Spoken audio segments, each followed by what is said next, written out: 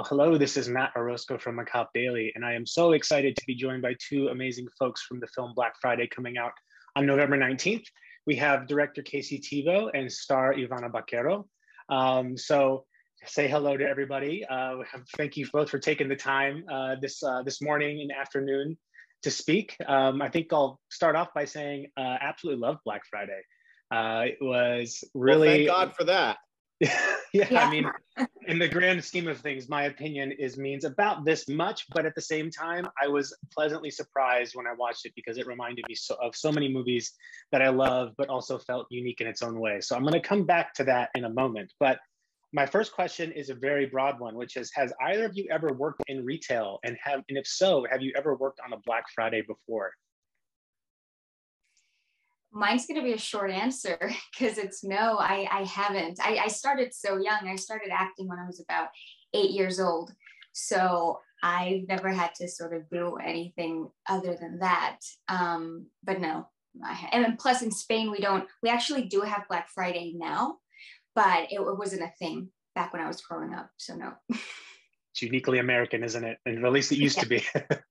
yeah. I, um, I, I didn't have any, um, retail experience um, because I've refused to get a real job most of my life.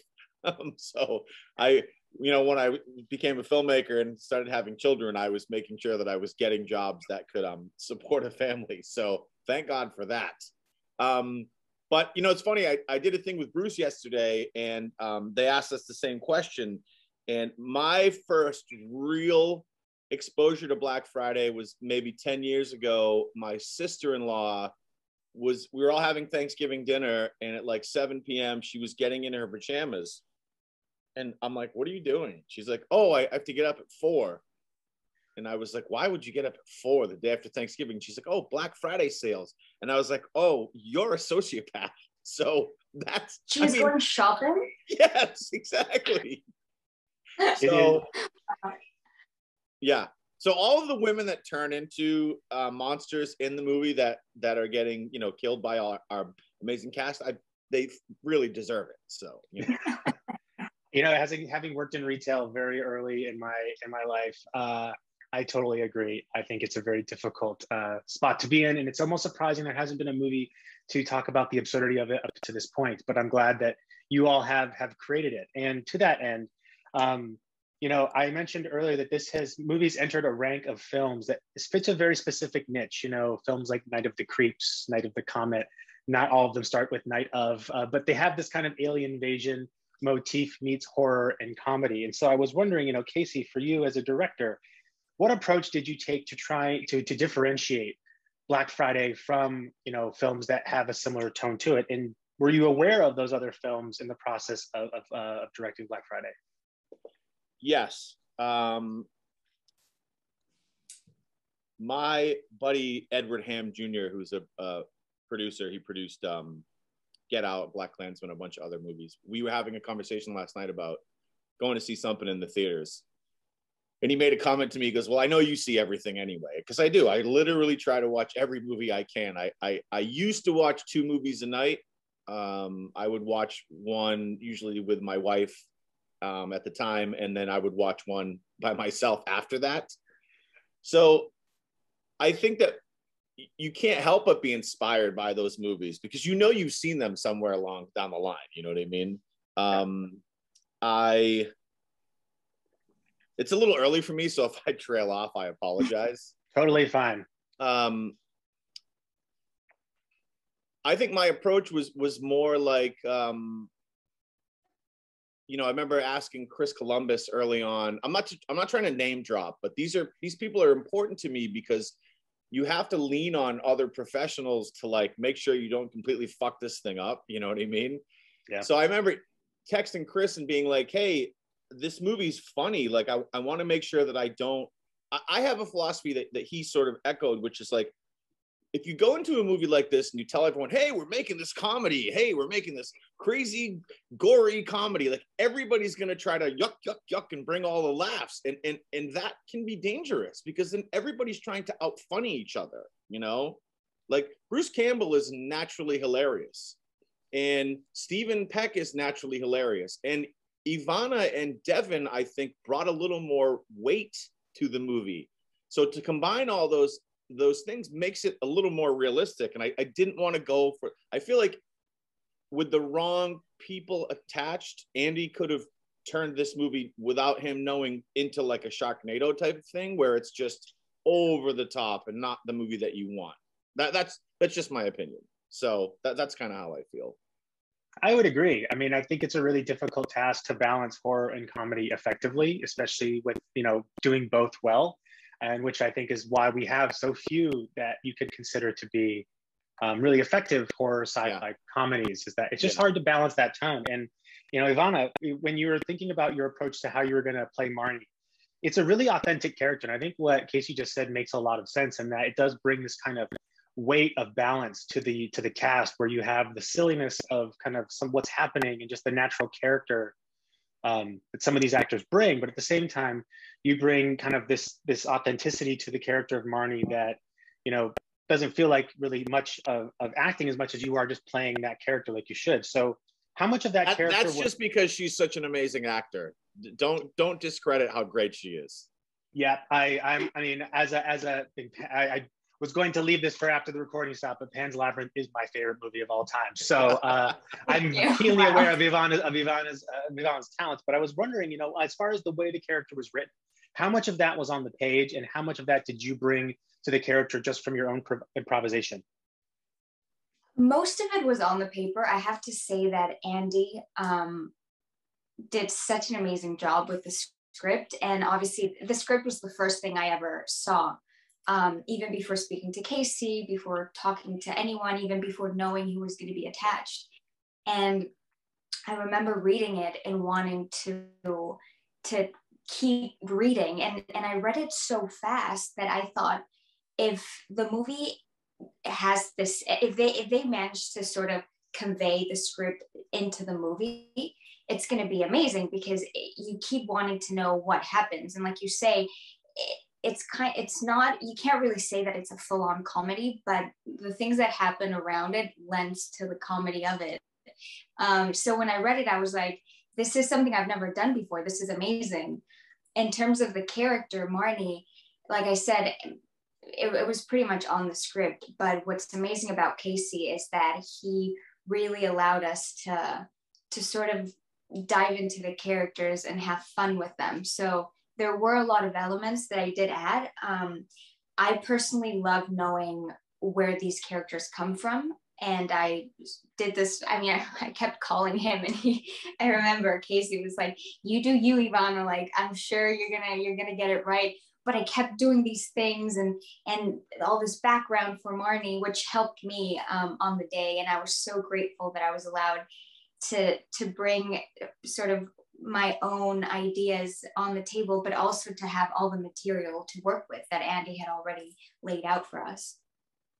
Yeah, I, I mean, I, as I said, I think it's such an authentic character, and you can definitely tell that there is a sense of history to all of these characters. In particular, Marnie. You know, there's a scene with Devon that I think, and I don't want to go into spoiler territory too much, but there's a lot of really tender moments that are kind of sandwiched in between some really absurd ones. And um, I'm wondering, you know, this movie looked like just a blast I mean, it was a it was a lot of fun to watch. I'm wondering, was that same sentiment on the set when you all are making it? Was it just as fun to make as it was, you know, what ended up on the screen, the final product?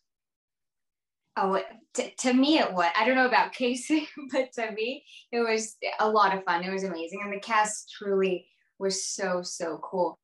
It was it was interesting though because of COVID. I have to say, in yeah. that I, I'm used to hanging out with everyone a lot more, and and you need to create those bonds, especially in this movie where these characters are supposed to sort of be like a dysfunctional family and they've known each other for months and years. And it was strange to not be able to have that and to, you know, bond personally. But with all that being said, I think on set, there was this great balance between obviously work, but also fun and lightness. Yeah, I, I think, um, you know, we lucked out um, I would say 95% of the crew and cast. I mean, the cast at least was you know, it's funny. I remember I used to listen to Howard Stern when I was a kid, and you would have these actors and directors on, and they would be like, "Oh, this person was amazing, and this person was amazing," and I'm like, "You're all full of shit. You all don't like each other that much." But after this experience, I was like, "Oh, it really can be like that." You know what I mean? Like, I stayed in touch with Devon and Ivana and Bruce and everybody after we wrapped, and the experience on set was everybody got along and everybody was in it together, and there wasn't any like negativity or animosity. And um, it was a really fun time. But like Ivana said, the, the COVID thing was difficult because, especially as a director, you know, Bruce said something great yesterday. He said, you know, when I got when I read the script, I I the first thing before I even read the first pages, I didn't want to be playing Ash again. He goes, and when I read the movie, he goes, you know, it was fun and it was scary. He goes, but this to me was more like a movie about the characters he and he he said you know casey did a great job of bringing out the characters and making it more of like a personable movie and i think the, the difficult thing about that was during covid it's like if i wanted to talk to ivana and say hey look well first of all ivana doesn't need any talking to. She can get it the first take every time. I've never seen an actor do that. It's it's quite something. Um and i'm not saying that just because she's here. I've said that in other interviews by the way. Um if I wanted to talk to her and say, hey, look, what do you think about, you know, I had a mask on and I had a face shield over my face. And it's like when you're trying to have an intimate conversation between a director and an actor about, you know, there's there's some serious scenes in this movie, especially in the in the the warehouse. It's like if I want to talk to her or Devon, it, it's like being in like this like almost military type of stuff. Like so, hazmat. Yeah. Yeah. So that was difficult for sure. And that made it a little more stressful. And I was on edge a couple days, but it's really nothing more than the constriction of being behind that stuff. But other than that, it was it was a great great experience. Yeah, it, def- it definitely looked that way. I mean, again, we can only observe so much from what the final product shows us. But I think to that point around this is a character film, you know, you really are rooting for all of these characters in their own way. I mean, I think every as watching this, I kind of found a bit of myself in parts of them. You know, mm. uh, the question of even the Bruce Campbell character when he says something on the effect of, you know, they're kind of sounding off how long they've been working there. Yeah. And I've been in that situation before where you're kind of like commiserating with your colleagues and you're just kind of sounding off, all right, who's the oldest curmudgeoniest person that's been working here the longest? I'm like, how has that changed that person? And you know, um, I think that again, it is a testament to the cast, you know, Ivana and, and your and your co- colleagues that you all are able to bring this to life in such a way that isn't just about the the gore, the aliens, the absurdity. It is really about the characters. And I go back to movies like you know Slither as a great example, is where oh, love that. It's, a, it's a concept that largely is you know it's, it's, it's been done, but it, the way it's done and the people that do it are what make it unique. And I think that's really what stuck out with me with Black Friday. Um, and on that note of like balancing the horror and the comedy, you know, it's really hard. You know, Casey and Yvonne, I'll ask you a very similar question. You know, but Casey, from your perspective, what how did you manage the tonal changes that happen in the script? And what was the most challenging part of doing that? Um when andy sent me the script originally it was much darker. And what i mean by that is like that first scene where chris ryan lee gets attacked by that woman like he ended up killing a little girl like her daughter you know what i mean? And Jonathan's character arc for Bruce was much darker, and Devon's character was was much more of sort of a loser. And I said, Andy, I was like, look, let's let's make this more for everybody. Let's give Devon's, you know, Andy ha- Andy went and rewrote that whole intro with with Ken with his daughters and Chris at Thanksgiving because I said to him, we need to let people no, and it's funny. Fred Rat, I believe it was Fred Raskin, who's Tarantino's editor, watched it and said, "Well, where's Marnie's family? I wanted to see where Marnie's family was." So we kind of slighted Ivana uh, by not giving her the pre-Toy Store scene. Um, so it's it's um, comedy is very difficult.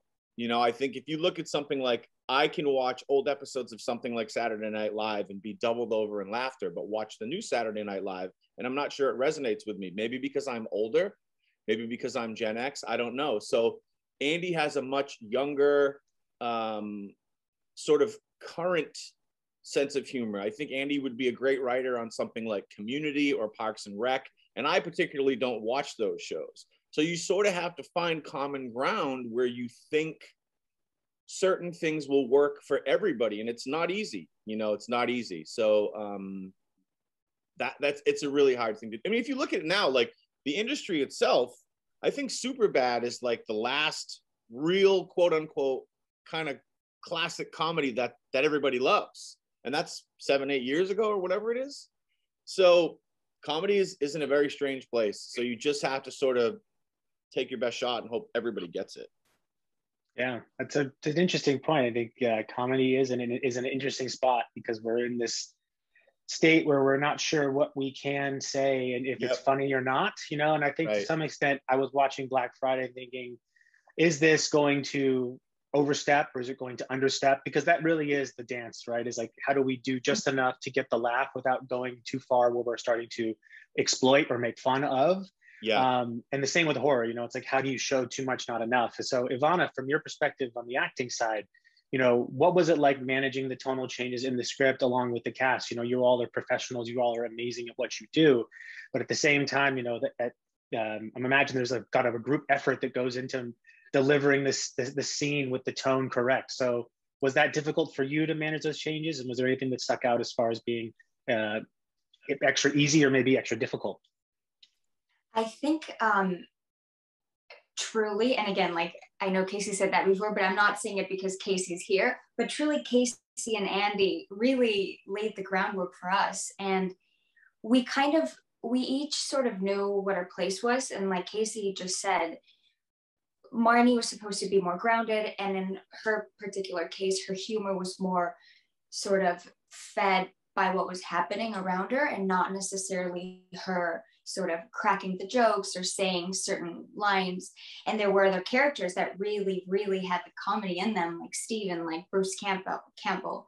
Um, so that was that sort of it was easy for us to sort of do that because we already had the manual and the instructions.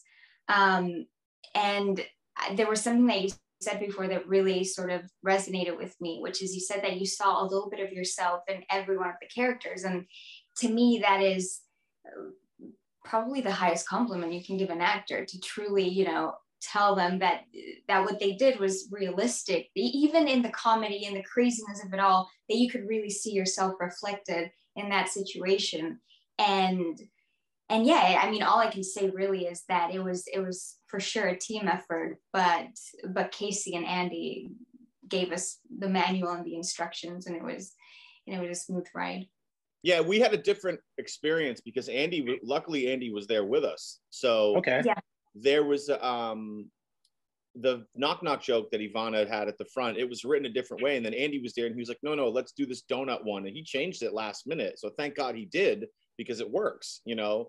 And those tonal shifts, the funniest one to me is like when I've seen it with audiences at Fantastic Fest or whatever, is um right after the shit hits the fan and and Marnie's in the office with little sweet little old Ruth and she's like, "Oh, your man, he's so handsome. I love him." and she's like, "Oh, he's not really my boyfriend." And she's like, "Oh, like you guys are just fucking each other or whatever." Like, like you never in a million years would think that would work. Exactly. But every time I've seen it with an audience, people are fucking roaring. So it's you, you get lucky. Yeah. You know, you get lucky. Yeah, I, I have to add to that. I totally agree. And and perhaps I expressed myself horribly before, but there was a lot of that. It was just kind of you know, just doing what what what it's what you were supposed to do and and hoping that it would work and a lot of those scenes like like ruth's scene i when we were shooting it i wasn't even sure whether it was going to be funny or not i mean it, it, it, was a it was a fun little scene but i was like are people going to laugh are people going to you know be grossed out by it are people going to not quite get it i don't know but we just sort of did it and somehow it all worked really well. yeah well. and you have to also attribute that to our editor chris tonic who Chris was an assistant. That's the reason I brought up Fred Raskin. Chris was an assistant who worked on Once Upon a Time in Hollywood. He worked on The Suicide Squad, and Black Friday is his first feature editing job. And there's a great scene where they're talking about uh, the, the origins of Black Friday, and Ruth goes, "When I, when I was younger, they separated shoppers by race." And like I didn't even think of it, but Chris cuts to this reaction shot of Michael Jai White. And like every time in the theater, people are roaring because Chris did an amazing job of digging out what the reaction should be. So I think you have to give him credit too. You know, Chris, amazing guy, an incredible editor, hoping he does every movie I make, you know. So so hats off to him. Love yeah. you, Chris. the you, can, the uh, the editor is the unsung hero of, of filmmaking because it is ultimately you know the, what you see is a product of, of what was filmed and then who and then the editor putting it all together and you all put together a wonderful 90 minute film which is more rare than it used to be um, but I find now that as I get older my um, wantingness for my time is if you can fit it into 90 minutes that's a really it's a sweet spot for a film and I even wrote down I mean on the point of like just the genuine comedy here my notes when I was watching it are just more my stream of thought. And one of them is just is in double stars. This is fucking funny. Uh, like, because, because it really was like, there's just, you're genuinely laughing, not because the jokes are forced, not because it's kind of really trying to trigger anything. It's just because it's natural in the characters. Again, going back to this character interactions really are what drive a story like this to make it stand out rather than the events that take place because you know you can watch alien invasion you can watch you know body horror all of that and even things like the new guy i mean the new guy running joke and just seeing the new guy continually get more and more disgusting um, you know the, the even the roots like when the scene where we find out what happens to him you yeah. know like it all just kind of throws you for a loop it had me thinking of things like peter jackson's dead alive or the absurdity yeah. of just like how it gets out of hand so um, yeah.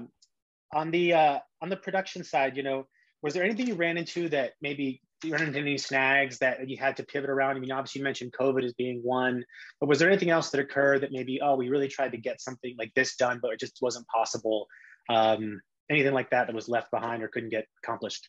Um, yes, uh, you know, I'm not going to blame any shortcomings of the film on COVID, but what I will say is that, you know, there's a piece of me that feels bad for Andy in a sense that the movie that he wrote that, you know, if we would have had a couple of hundred extras running through the store as infected shoppers, it would have made it a different movie and probably more a little close to the panic that Andy had initially written. But when when we got all the COVID guidelines from SAG and IATSE, they were like, nope, five extras at a time. And it's like, how the hell are you supposed to make a a zombie slash monster movie with with infected shoppers with five people at a time?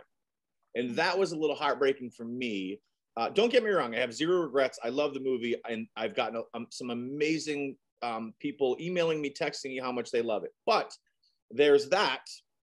And there's also, and I think I had sent to maybe Devon and Ivana and a couple other people. When I first hired David Kruta, who is the cinematographer, if you if you Google David Kruta and look at his work, one of his sort of his I don't want to say his knack, but one of his um, his strong suits, his superpower, if you will, is working with the elements. He's amazing with like smog and and and um, mist and things like that. And that's what I wanted the store to look like once we we started things started going bad. And when we got there, they were like, nope, no smoke, no smog. And David was mm-hmm. like, you've got to be kidding me. You know what I mean? Like that's like asking Ivana to act with a, a bag over her head. You know what I mean? Like she can't use her face to express all the things she needs to express. When you take away David's tools, so we had to sort of do a lot of the, a lot of the smoke was done in post, and it, it doesn't really look like the way that David and I wanted it to. But it, it is what it is because we shot during COVID. So that's that's the real sort of th- thorn in my paw, you know, for this movie for sure. Ivana, anything yeah. come to mind from your? Well, I mean, I'm most of what Casey said, and in my i guess experience specifically it was more so the isolation i guess like i said before the incapability to really bond with the castmates not only out but in set because obviously we were separated. We had you know glass between us. We had the masks. We had the screens um, so that could, you know, get a little bit awkward sometimes, especially in terms of communicating, because as soon as we cut, we obviously had to, you know, gear up. And if we needed touch ups and, you know, all those things that go on, we had to go to a really sort of isolated particular place to do all of that. Um, so I guess those were little things, but like Casey said, we were able to ultimately do the movie and, and make what we wanted to. So we can't really complain about the protocols. But I have to say that this was even before vaccination. So right. this was like this right. was full on, full on pandemic where we really had to be prudent and careful and so so it was it was very strict and we never shut down because if we had shut down i mean this was a relatively small movie i don't know what would have happened no remember so we did we did very... we did lose one remember we lost a day oh the first one yep that was like the second day. This the first day we did the opening of the store. The second day was supposed to be all the cast, you know, doing meeting each other at the store and whatever. And they're like, "Oh, we got to shut down because um, David, our DP, his his test didn't go through. He wasn't mm. positive. It just meant that when they took it to the lab, they couldn't find a sample to use. So IATSE and SAG made us shut down for the day. So mm. that sucked. You know. There you yeah. go. Yeah. It was wow. a little taste. So yeah. we, yeah, yeah, right. we really got it together after that.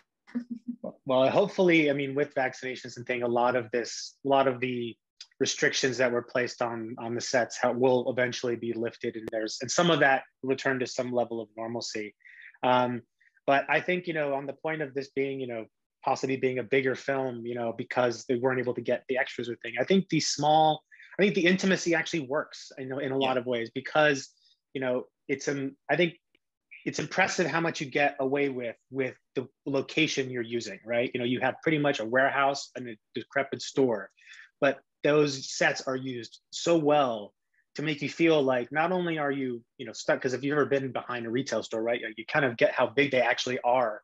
Yeah. Um, but you get the one sense funny, that one of the funniest things i read was um somebody on Letterboxd was like or youtube the youtube comments under the trailer was like oh yeah friggin typical make this dumb movie in a warehouse like terrible production design.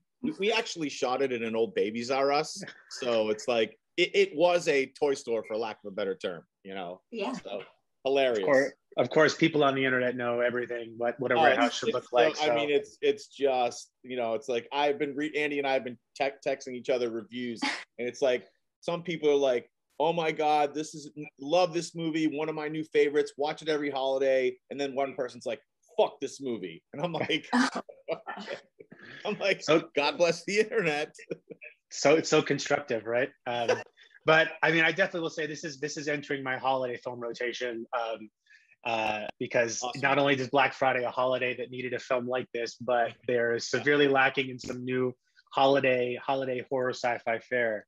Um, yeah. On on the note of like the effects, you know, I thought um, there was a really good, a really really great effort to blend both practical and CGI. Mm-hmm. And I think that CGI is becoming so much more pervasive in what we're doing. And, and you know, we can poo-poo it all we want, but I think there's a point to what you can get away with. You know, yeah. uh, I think of I, without getting spoiler territory. Uh, there's a scene with a forklift that will forever change. I mean, if if I if no one else finds that funny, I, I, at least know that I got such a kick out of it. I had to rewind it. Like, let me see that again. Um, but was it, um, you know, what were your least favorite scenes? And again, Yvonne, I think from, from your perspective, you know, as far as an actor goes, in the case of your perspective, as far as the, the, the direction side, what were some of your most and least favorite scenes involving the involving the effects? Um, in terms of working on them on set or watching or, it after?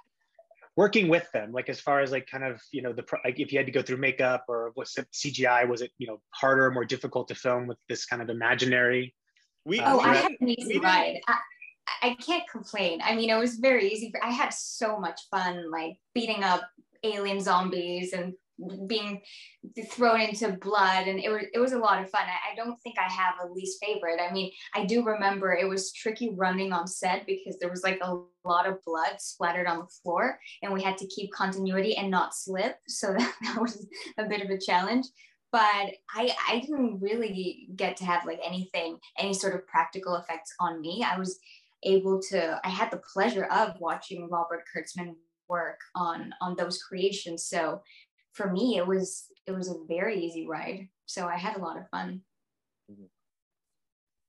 Casey, yeah, we also my, one of my my favorite um, scene involving effects is when Ivana beats the shit out of that guy with a pipe wrench. Yeah. Yeah. I mean, it's just you know, you you hear these stories of like directors watching movies with real audiences and not letting audiences know that they're there. And when we went to see it at Fantastic Fest, there was a couple of moments in the movie where you could see the audience reacting, and that scene where she beats the shit out of this person, um, I, I could see people like, you know what I mean? Like, so I was like, oh, we did our job, you know, thank God. But I remember, yeah, and I remember you kept telling me, I, I want it to be violent, you know, I, I, want, I want you to grunt. And I was like, you look like you're really mad. You look really mad. Oh, it's so great. What were you channeling in your head at that moment, Ivana? What was kind of your inspiration to just get more aggressive on this on this head? Oh, I, I couldn't tell you. I had a lot of things running through my head that I was beating up. well, it's a good way to get them out in a in a in a way that both benefits the film and possibly maybe some therapeutic uh, relief as well. Now, sure. um, do either of you have any of your own like Black Friday horror stories? I mean, as I mentioned in the beginning, I worked in retail, so I've dealt with. Uh, I think you deal with some of the least and most savory people um, that that this place has to offer. But any of your own horror stories from this event that you've ever experienced yourself personally? Not me. I, I stay away from Black Friday. Yeah, I mean, I wish I could give you a super juicy story because I love shopping, but I um I haven't really lived through Black Friday over here in Spain. So no. I think I think that if if any for anyone who's never experienced Black Friday, you know the the, the blessing and the curse that is the internet. Th- there is like horrific videos on the internet of like people fighting on Black Friday. And I just I think it's funny and ironic that Ivana says, well, we don't really have that in Spain. It's like Black Friday is such an inherently American holiday. It's like, hey, kick somebody's ass for a discount TV. Like that's America in a nutshell. Mm-hmm. You know what I mean? Like you go to places like Spain or or, or uh, France. The the at least I think I could be wrong, but when I was there, I was there a lot through the um you know the 2010 to 2015 or so touring um, the the retail footprint doesn't seem to be as big in Europe you know? In America we're getting to the point where every town pretty much looks the same. It's like Target Walmart Best Buy grocery store gym liquor store. You go to places like Europe you know there's still that romantic sort of architecture and elegance and mom and pop type of stores. And and Black Friday is like it's just get out of the way, man. Just get his get what you can and get it now. You know, it's it's it's bad.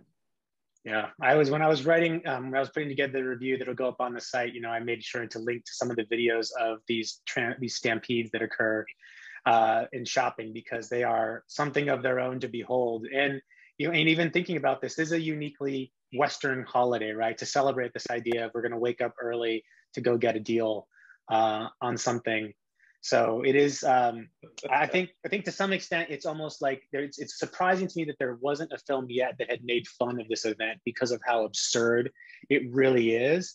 But I think you captured the hysteria so well, not just through the characters you're portraying. You know, again of the because I think people that never worked retail don't understand what it's like, but it's surprising again that you haven't Ivana because really it felt like everyone in that cast had probably shadowed someone in retail at some point. I mean, Mike, Michael Michael Jai White's character, for example, like there's always this there, you, there's these tropes that exist in retail like there's this tough guy, you know, there's there's the nice person who's been working there like Ruth, you know, there's the manager who's just drinking the Kool Aid from every which way. So you really hit on on those tropes really really well.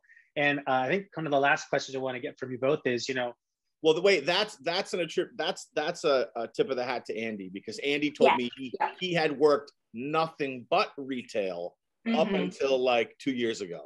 From like 16 to like 26, he worked Toys R Us, Bed Bath and Beyond, Best Buy. Like he is the retail king. So he it came out in the script. His experience yeah. came out in the script. And on that note, we didn't really have to shadow anyone because we really did feed off him and we yeah. were shadowing his experience. He was there on set, so any questions, any feedback, he would also obviously contribute. Yeah, he was like the screenwriter slash technical advisor because yeah, yeah, you know, he, he knows it all. Emotional support, everything. yeah. It's good to have. I mean, again, you write what you know, and if you and, and you can always, I think you can always tell uh, when someone has coming from an experience. It shows up in the way they develop the characters, the script, the writing.